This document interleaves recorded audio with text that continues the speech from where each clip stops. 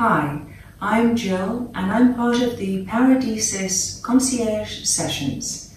I'm here to share with you five yoga poses which I hope will liberate your fears during this global crisis. I'm going to teach you a yoga pose which is often known as threading the needle.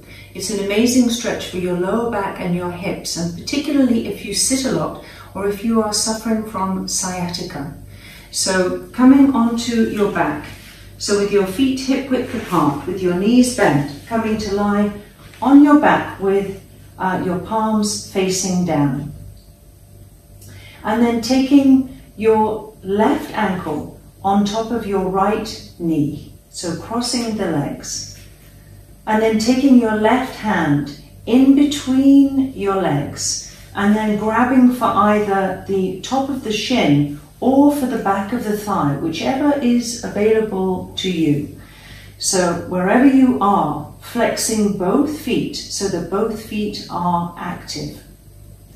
And then as you come into your pose and into your breathing, see if you can relax your shoulders away from your ears so you can find space between your ears and your shoulders as you push your shoulder blades back down towards the mat.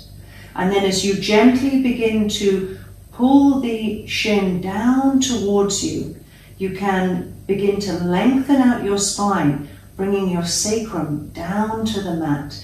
And then you should be able to feel that nice sweet spot in your outer left hip.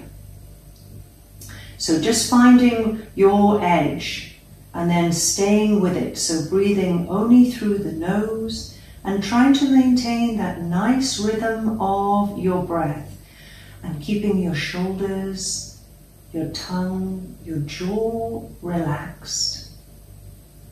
And then when you feel that you've been in the stretch long enough, you can gently release the hands, bring the foot back down to the mat, and then prepare to do the same on the other side. I hope to see you soon in our concierge sessions.